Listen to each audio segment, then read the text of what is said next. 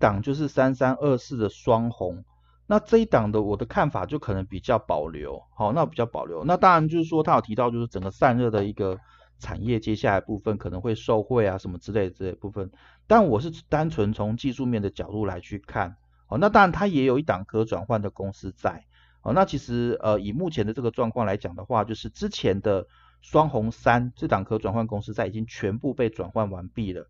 那呢新新来的呃新的另外一档双红四呢，它的整个转换价是在二二七点六，那今天的收盘价是一九三，所以可以稍微看一下相对的关系。其实现在股价离这个转换的价格呃还蛮远的，所以其实我之前有提到，就是说我比较不太喜欢就是去选择一些呃可转债的股票。它离呃就是价外，我用专用专业的名词去讲，叫做价外，就是偏离呃低于呃转换价格太远的太远的这些的股票，我会觉得它比较没有所谓的进入到攻击范围。好，那因为你离得这么远，它其实也不见得现在要去拉它。好，那这种情况之下，对于公司来说，我现在花很大力气才把你拉到这个转换价，你持有公司债的人，你也不会去把它转换掉啊。因为根本无利可图啊，所以你是不是要再花更大的力量再拉一波？那可能你就是花很大力气拉了，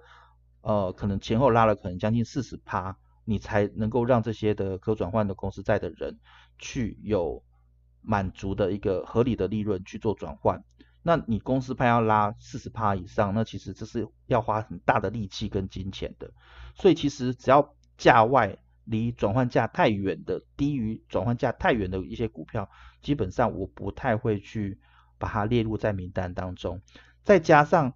有没有发现，在整个的一个左边这边有一个很大的一个麦当劳，一一座山在这个地方，这是将近高达快要一呃至少超过半年以上的一个头部的压力在这个地方，就是在两百二到两百四的这个区间。所以可想而知的是，即使这边呢，短线上不管说怎么情况，往上有去做一个上涨的话，大概碰到两百二以上到两百四的这个这个区间，就会去面临到这个前面的这个套牢卖压的的地方，加上这边都有大量都有大量在这个套牢区，所以其实短期来说，你要期待它